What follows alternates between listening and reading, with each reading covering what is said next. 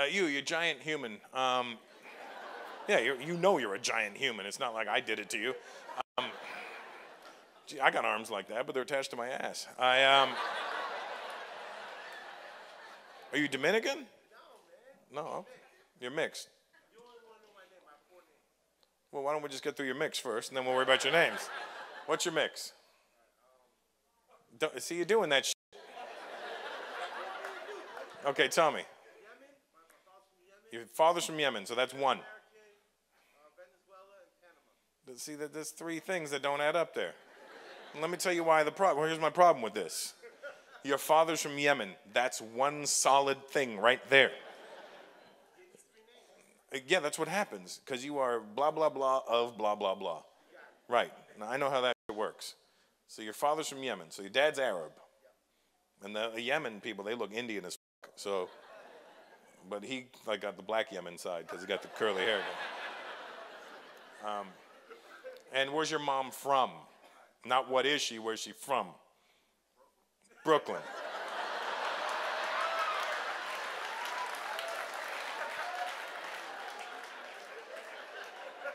Is anybody watching these phones in this room? Throw it down, stupid. Whole security team's like, oh, this is good. Hey, sweetheart, when you get a recording of that, why don't you give it to me? And what's your name now? Now that we've determined you're Arab and American. The Panama and Venezuela just went the fuck out the window. You see what I'm saying? Okay, well, it's Frank right now. So this is you being frank with me right now.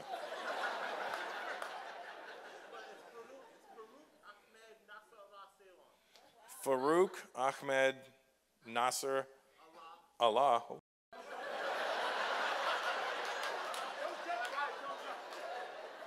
and he wears a big cross to let you know.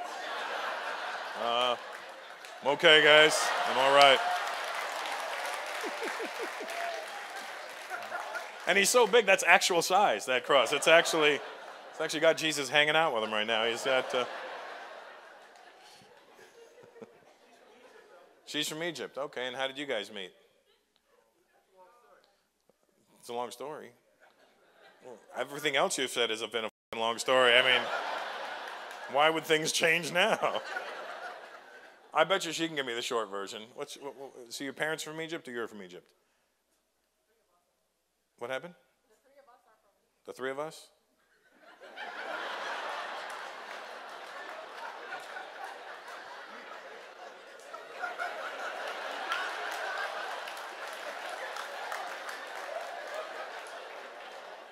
Good to see you, King Tut.